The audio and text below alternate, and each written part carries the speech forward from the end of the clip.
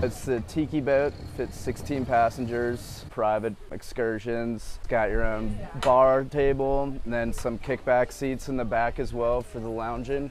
BYOB experience, hour and a half charters. It is beautiful scenery out here, and we're getting to go by all of these fabulous looking restaurants that after we're finished, we could stop and go grab lunch. We started uh, cycle boats in Baltimore in the Inner Harbor, and we started out with a 20 passenger cycle boat. We were getting interest from different areas. So that's when we started exploring the Kent Narrows area and decided to bring two of our tikis here. So we have a 16 passenger and a six passenger tiki.